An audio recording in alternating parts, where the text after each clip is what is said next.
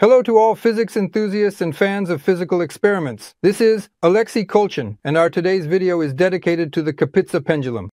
And to start this pendulum, we built this, I won't hesitate to call it vibrator, here. The electric motor drives a crank slider mechanism, and the piston moves with a swing of 4 centimeters. That is, the amplitude of the oscillations is 2 centimeters. An inverted pendulum is fixed at the top of the piston. I turn on the motor and gradually increase the voltage.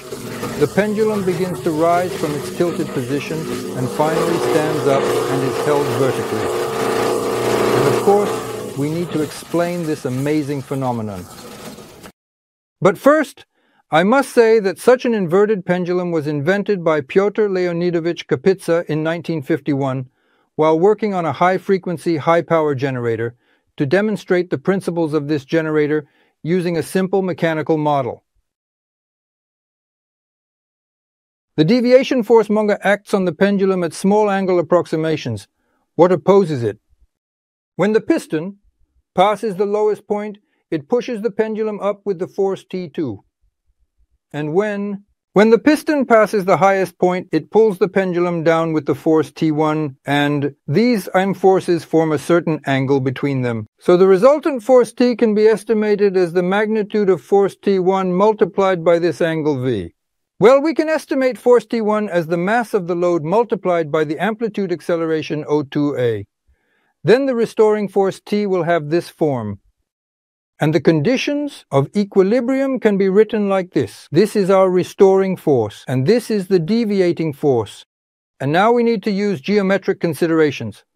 This red side of the triangle is equal to 2a multiplied by alpha on one side, and on the other side from this triangle, r, multiplied by beta, where r is the length of the pendulum.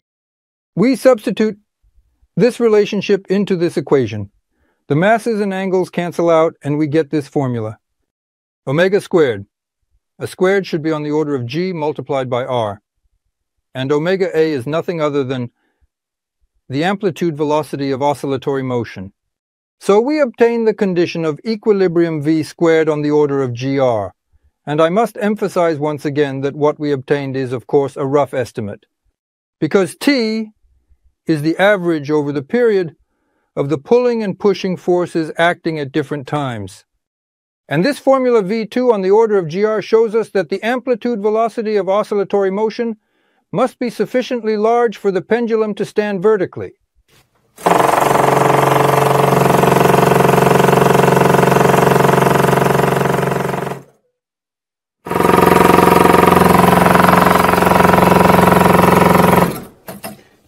Alexei received the grades, and I would like to focus on a more precise theory now. But, first, it makes sense to abandon this noisy machine and switch to computer modeling. And my modeling will be based on transitioning to the reference frame of the moving piston, where the acceleration of free fall g is added to the variable acceleration ao squared times the cosine of omega t in this model, there is no energy loss. However, if the amplitude of the piston oscillations is not large enough, the pendulum cannot remain in the inverted position and falls. But if the amplitude of the oscillations is increased by just 15%, the mode of movement changes. And now the pendulum performs slow oscillations superimposed with fast jerks at the frequency of the piston's movement. And this means firstly that we observe the threshold amplitude velocity which Alexei has already mentioned. And secondly, that the movements of the pendulum in such modes are divided into fast and slow. And now, we will bring this division of fast and slow movements to life. Let's write down Newton's second law for the inverted pendulum. We will simplify both sides by mass m and divide by the length of the suspension r. Note that g divided by r is nothing other than the square of the angular frequency of oscillations of a simple pendulum of length r, and this frequency omega large is much less than the frequency of oscillations of the suspension omega shaft. Let the ratio of the piston amplitude A to the length of the suspension R be denoted by the letter A, and this value is much less than 1. As a result, the equation of motion of the pendulum takes the following form. Now we will solve this equation, and we will look for the solution according to the results of computer modeling in the form of the product of two factors, slow, cosine, gamma t, and fast. So there we have this fine rattling, 1 minus k cosine, omega small t where k is much less than 1. Well, now we need to differentiate alpha with respect to time twice, and I will not write out all the terms in this second derivative completely, but I will write out only the main ones. One is slow, and one is fast. The slow one, the main one, is in parentheses.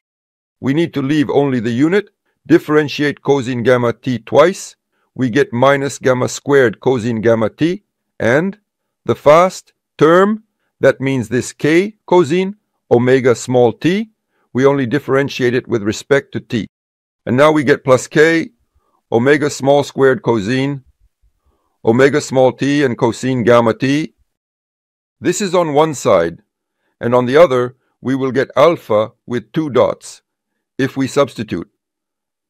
Alpha from the second line into the equation written in the first line. And we will get such a product of two brackets and also cosine gamma. Two.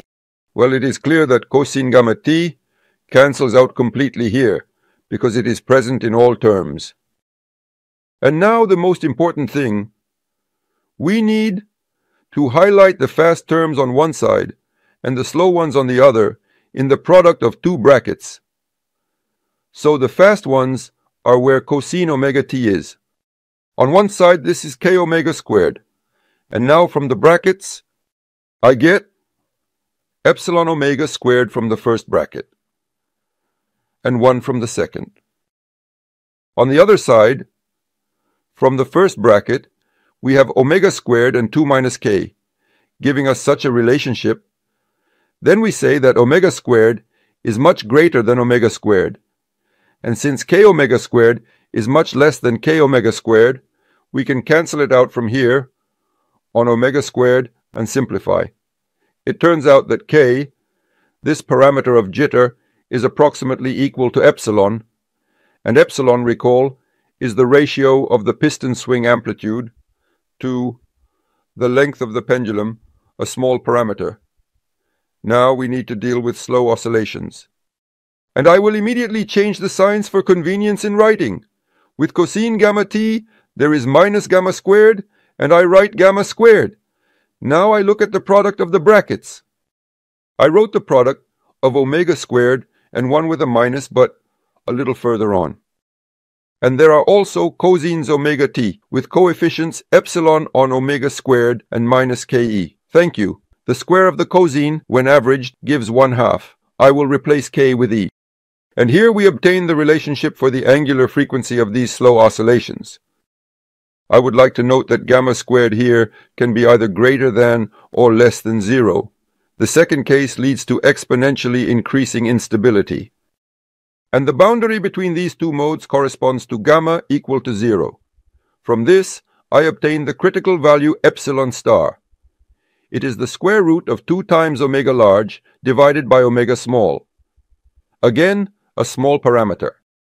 And if we substitute the parameters of the pendulum into this last relationship, we will get this formula, which differs from the estimate made by Alexey only by the presence of the square root of 2. Therefore, the qualitative considerations from which he started were undoubtedly correct. And now we could move from this formula to the experiment, but first it should be noted that r, which is here, is the length of the mathematical pendulum and our pendulum is made of a metal tube with a ball at the end, so its effective length should be substituted into this formula, which I will find now.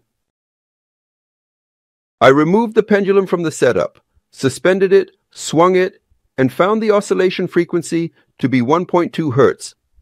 Therefore, the angular frequency which is 2p times greater, is 7.5 hertz, and the effective length, which is omega squared, turned out to be 17 centimeters. Here is this size against the background of the real pendulum.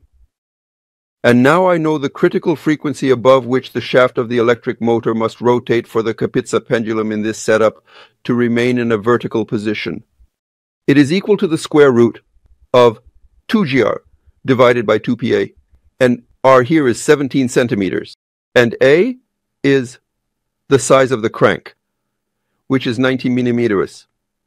We substitute all this into the formula and find that the critical frequency is 15 hertz. And this can be tested in the experiment? Well, I will measure the motor's rotation frequency using a photogate, and at a frequency of 20 revolutions per second, the pendulum holds quite well. 19 revolutions per second. However, it tilted a little to the side. This apparently relates to the inaccuracy in the manufacturing of our setup. 18, 17 and a half, and the pendulum started to swing. This swinging occurred at a frequency of 16 and a half revolutions per second, which is close to our theoretical prediction of 15 revolutions per second. And as a result, we carried out a whole range of work. Observation of the phenomenon, its qualitative explanation, and quantitative assessments based on this qualitative explanation, computer modeling, development of mathematical theory, experiment, and comparison of this experiment with theoretical results. What else can be done here? And I have something to add. So far, Andre has considered a model without energy losses and then showed us a regular pendulum whose free oscillations were damped. Well, it is obvious that the inverted pendulum will also experience damping. Let's look at the computer simulation, adding resistance from the medium. And we see how the slow oscillations dampen, while the fast jerks of course remain. The same damping of slow oscillations occurs in the real experiment. We recorded it with a high-speed camera now the stroboscopic effect does not interfere, and we can observe the behavior of the pendulum in detail with fast and slow oscillations. Since a continuation has been found, Alexei, I also have something to add. But first I want to say that with videos like this, we definitely deserve your support. And how to provide it. It is written. Under this video is its description, but now I will ask this question. So far, we have considered the vertical movements of the piston.